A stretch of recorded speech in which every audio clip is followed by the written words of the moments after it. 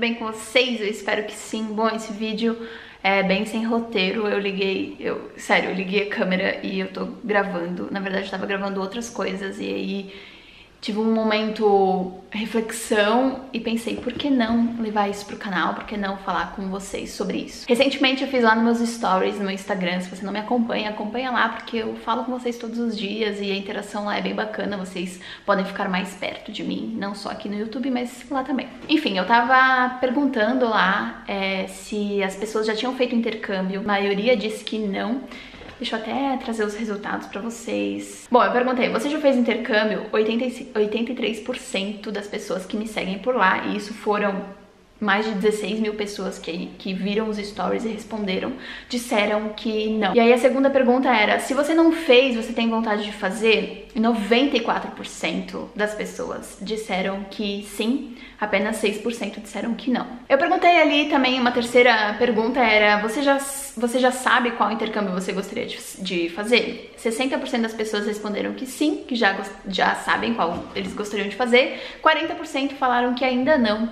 E para essa galera que falou ainda não, eu fiz um vídeo falando sobre como encontrar o intercâmbio perfeito para você, eu vou deixar aqui no card, que às vezes a gente realmente é, tem entre tantas opções, não sabe como escolher o melhor intercâmbio, não sabe o que levar em consideração. E como eu já fiz alguns intercâmbios, eu acho que eu consigo ajudar vocês quanto a isso. Então, se você quiser entender melhor é, e descobrir qual intercâmbio você deveria fazer ou qual intercâmbio tem mais a ver com você, vou deixar o link na descrição e também, como eu falei, deixei nos cards para vocês. Bom, então vemos que a maioria das pessoas não fizeram intercâmbio, a maioria das pessoas querem fazer intercâmbio a maioria das pessoas já sabem o que fazer, tipo, elas já sabem o que elas querem fazer, mas e aí, qual é o problema? Aí eu perguntei, o que te impede de fazer? O primeiro, porque eu achei que seria o mais respondido, realmente é a grana, é o dinheiro. As pessoas, elas não têm dinheiro para fazer intercâmbio, ou então acham que é muito caro, ou então não se programam mesmo para isso, não tá entre as prioridades. E eu entendo, porque às vezes a gente tem várias outras prioridades a maioria do Brasil não ganha um salário bom. É, a maioria, realmente, a gente não tem condições como outros países, as coisas aqui funcionam mais lentamente, e a menos que a gente vá muito atrás e se planeje muito bem, as coisas acontecem, mas elas sim podem acontecer. Eu sou prova disso. Eu tenho amigas que ganham um salário mínimo por mês e conseguem fazer intercâmbio, ou pelo menos estão conseguindo agora, depois de guardar uma grana por muito tempo. É aquela coisa, sabe? Os 50 reais de hoje vai se tornar em alguma coisa daqui pra frente. Se você consegue guardar pouco dinheiro por mês, esse pouco dinheiro ele vai se tornando mais e mais e vai criando uma quantia que um dia vai ser a quantia que você precisa. Eu acho que a gente não pode se deixar bater, sabe? Não, não pode se deixar abalar é, entre essas coisas, de começar a guardar, mas aí, opa, se perdeu no meio do caminho, foi lá e comprou, sei lá, alguma coisa que realmente não estava precisando, já que a sua prioridade era viajar. Eu acho que manter essa prioridade forte, se é realmente o que você quiser, faz com que um dia você consiga. Mas eu entendo que sim, grana é o primeiro problema, isso não tem discussão, é complicado. A maioria das pessoas no Brasil elas não conseguem é, administrar o seu dinheiro de forma é, inteligente, isso é um dado que não sei o que tô falando, todo mundo sabe disso. E, enfim, eu acho que falta um pouco dessa educação financeira de fato.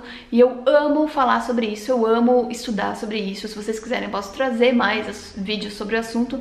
Mas enfim, vamos às respostas, né? 6% disseram que ainda não, não sabem qual fazer. Então, é, aquela galera que respondeu na, na anterior que ainda não sabia qual fazer Disse agora também, manteve, que não, o problema não é grana, o problema é porque realmente não sabe qual fazer. De novo, tá lá o link na descrição com o vídeo para te ajudar a escolher. E aí eu perguntei se fariam um intercâmbio de longa ou de curta duração e tal. É, 67 falaram que preferiam fazer um de longa duração, 33% falaram que preferia fazer um intercâmbio de curta duração. Mas aí é, além dessas mensagens, dessas respostas que eu tive ali direto nos stories, muita gente mandou inbox no Instagram falando sobre outras duas coisas que os impediam a fazer intercâmbio. Uma delas era o tempo e a outra delas era o medo. E eu vendo isso, é, comecei a pensar e a trocar uma ideia com essas pessoas, entender medo, mas medo do quê? E tempo, por que você não faz tal coisa?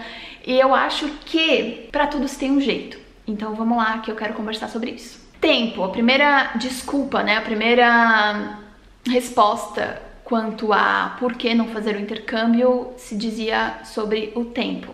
E eu não sei se vocês sabem, mas dá para fazer o intercâmbio a partir de uma, duas semanas e para vários lugares do mundo. Se o seu problema é tempo, você tem duas semanas de férias por ano, você tem 30 dias de férias por ano, você consegue sim fazer o intercâmbio com esse tempo que você tem. Aí a pessoa me respondeu: Não, mas é que eu queria fazer de seis meses, então eu nunca vou conseguir fazer. Esses nunca vou conseguir fazer, essas palavras, mas é, o problema é esse é, não, é porque acontece isso, são palavras e são pensamentos sabotadores. A gente tem esse costume de ficar se auto-sabotando o tempo inteiro. É não aceitando elogio, é não se achando capaz de fazer alguma coisa e é colocando esses empecilhos no meio dos nossos sonhos. Entre a gente e entre os nossos sonhos tem várias desculpas, várias, várias desculpas.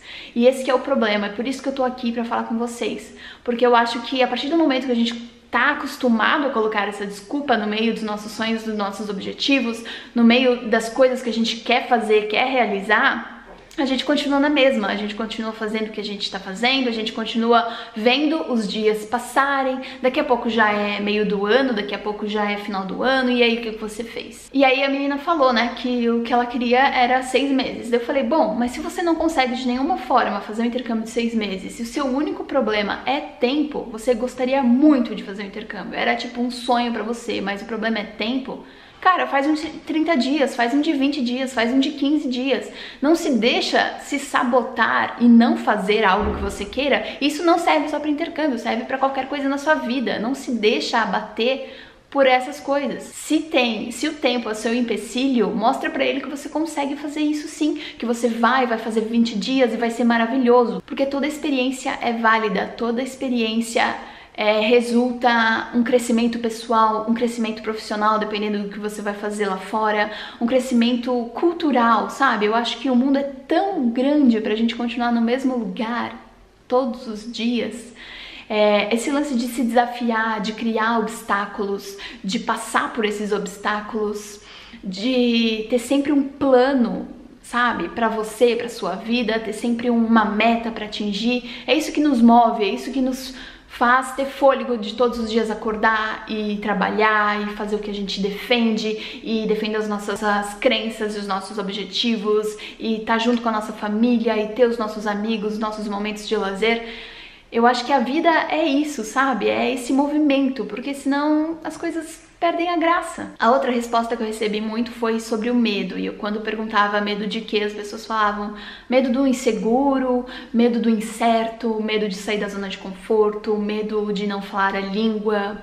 E cara, para cada tipo de medo a gente tem várias soluções, né? Se o seu medo é estudar inglês, é porque você não sabe inglês, joga a cara nos livros, vai estudar. É outro empecilho que você mesmo tá se sabotando. Ninguém ao seu redor tá sofrendo com isso, só você. Então, se você deixa de fazer o intercâmbio porque você não sabe falar o inglês, vai estudar e se você não tem dinheiro para pagar um curso, cara, tem tanto canal no YouTube que ensina inglês desde o verbo to be, tem tanta aplicativo, tem sei lá, livros em bibliotecas municipais que ensinam, sabe? Livros de inglês, livros de, de escola mesmo. Eu acho que depende muito da gente. E, e, uma coisa que eu tenho na minha cabeça desde sempre é que se eu quero, eu consigo. E eu coloco isso desde sempre. E quando eu vejo as coisas acontecendo, é, só reafirma para mim mesma de que isso é real. E eu não tô falando para você passar por cima de ninguém, não tô falando para você ser mau caráter, para mentir para as pessoas. Dá para fazer tudo é, de um jeito certo, de um jeito do bem, de um jeito saudável para você e para as pessoas ao seu redor. Agora, se o seu medo for realmente de ficar sozinha, de, enfim, sei lá, tem tantos medos, o medo é algo tão tenso de, de ser comentado, né? Eu acho que medo tá muito ligado à autoestima, a tantos outros casos de depressão, de, enfim, de outras coisas ruins que eu acho que só às vezes, dependendo do, da, do grau da, da situação, só consegue tratar com um psicólogo, um terapeuta. Às vezes, se abrindo com os amigos já ajuda muito, às vezes, assistindo vídeos motivacionais. É, eu acho que a gente tem que se cercar de coisas boas, de coisas positivas, de coisas que nos fazem bem, primeiro de tudo. Ter pessoas no seu Instagram ali, onde você vê os stories, te motivando de alguma forma. Ter pessoas que você assiste no YouTube te motivando também de alguma forma. E se esse medo é tão grande para você, tem como você é, passar por isso, você não tá sozinho. Várias pessoas já tiveram medo. Eu já tive muito medo de viajar. Eu já tive muito medo de fazer várias coisas na minha vida. Mas é esse lance de que eu posso, eu quero e eu consigo. É uma frase que minha mãe falava pra mim e fala até hoje. É, entra muito na minha cabeça e aí eu vou lá e provo pra mim mesma que eu consigo. E eu me rodeio de amigos legais, de pessoas bacanas, da minha família. E eu faço terapia. Não sei se vocês sabem, mas eu faço terapia há dois anos. Então isso também me ajuda muito. Eu acho que é, que é isso, sabe? Eu vim falar pra vocês que tudo tem uma solução, que o seu problema não é só seu, várias pessoas passam pela mesma coisa que você, ou pelo menos algo muito parecido. Todos nós temos problema, a vida de ninguém é perfeita, ninguém larga tudo e vai viajar e não tem nenhum, nenhum problema, nenhum perrengue. Se você realmente quer alguma coisa, você vai conseguir. É, se você quiser trocar mais alguma ideia sobre esse assunto, deixa aqui nos comentários, vou adorar é, falar um pouco com vocês sobre isso. Eu espero que esse vídeo tenha te ajudado de alguma forma, porque eu precisava desabafar, eu sinto isso. Eu sinto que você que eu precisava falar com vocês sobre esse lance de autossabotagem, de pensar em vocês em primeiro lugar, e, enxergar os seus sonhos, os seus planejamentos e os seus projetos como algo que sim pode ser realizado, não tá tão distante assim, só depende de você. A sua felicidade e o seu bem-estar e os seus sonhos e os seus projetos só depende de você. Esse foi o vídeo de hoje, espero muito que você tenha gostado. Se você gostou, não esquece de deixar o seu like, de se inscrever no canal, me acompanhar lá nas redes sociais pra gente conversar mais assim durante o dia a dia. E é isso aí, um beijo enorme, até o próximo vídeo e tchau!